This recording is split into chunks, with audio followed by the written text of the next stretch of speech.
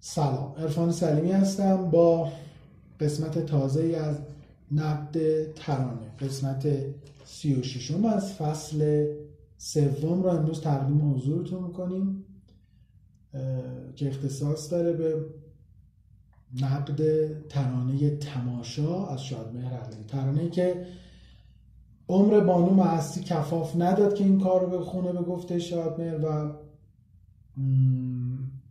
کاری بود که ما رو رسون به روزهای جذاب ملودی سازی شادمه و حال خوبی که تو کاراش بوده دیگه نیست. این ترانه رو سروش دادخواه نوشت.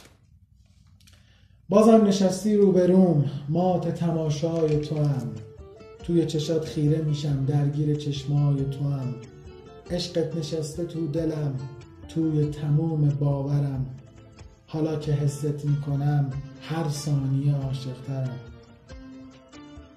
امشب که تو پیش منی تو خواب رویایی من غرق تماشای تو عشق تماشایی من. آرامش نگاه تو دلتنگیامو می‌کشه. خونه پر از عطر تو دلم فقط به این خوشه. نزدیکتر میشی به من تب نزدیکتر میشی به من تب می‌کنه همه تنم. اون که تماشات می‌کنه تا آخر دنیا منم. با نور چشمای تو خونه همیشه روشنه.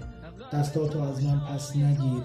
تا وقتی نبزن می‌زنی امشب که تو پیش منی تو خواب رویایی من غرق تماشایی. غرق تماشای تو هم. عشق تماشایی. این قطعا این ترانه مال قبل از فوت خانم هستیه.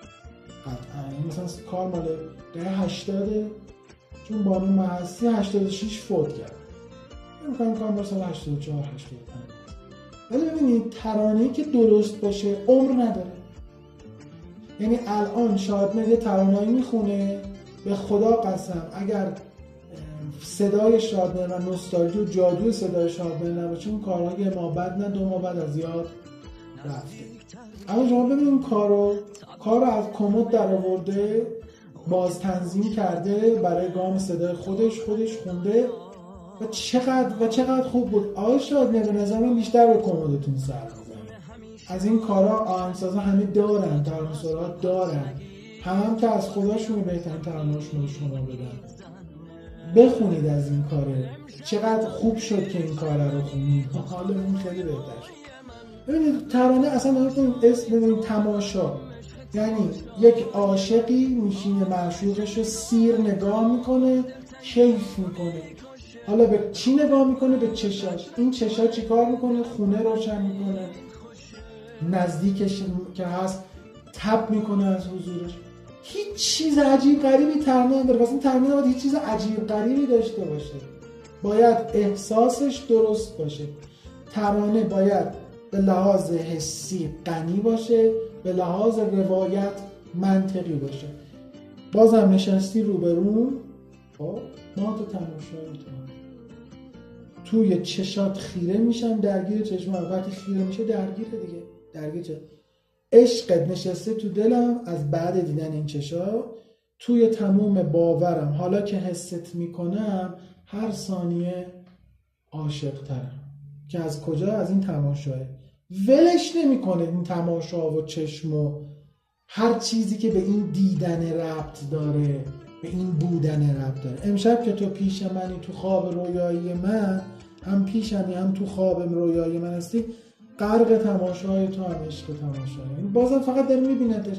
ببینید کلی کلمه تماشا داره ولی شما اذیت نمیشی. ملودی هم از اون درسته. آرامش نگاه تو دلتنگی ها می‌کشه. این تضاد کشتن و آرامشه این که با آرامش این قاتلایی که با آرامش مقتول رو می‌کشن. قتلشون رو انجام کنه قاتلای جذابتر این آرامش هم جذابیت داره دلتنگی می‌کشه. خونه پر از عطر توه دلم فقط به این خوشه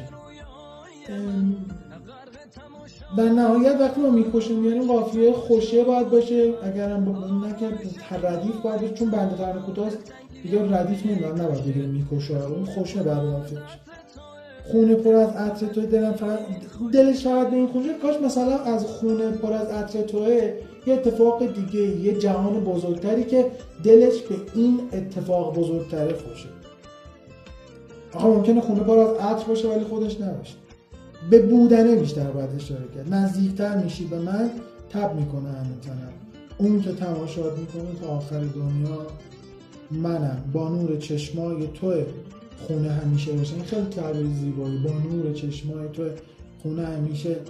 اگه من بودم نوشتم با ماه چشمای توه خونه همیشه روشنه. دستا تو از من پس نگیر تا وقتی نرزم. عالیه. عالیه.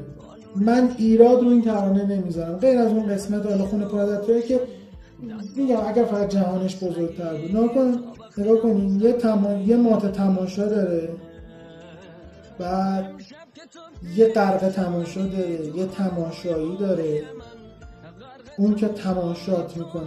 چهار تا تماشا داره. تماشا هم کلمه بزرگیه. ت شین تو گوش می‌زنه. ولی شما اذیت نیستی. وزن انتخابی درسته قافیه ردیفه درسته و حیف حیف حیف که شادمر دیگه نمی‌خونه از این کارا. ولی من از همین تریبون استدعا دارم که آقای شادمر این شکل ترانه ها رو ادامه بدید. باز هم میگم به کموده سر بزنید.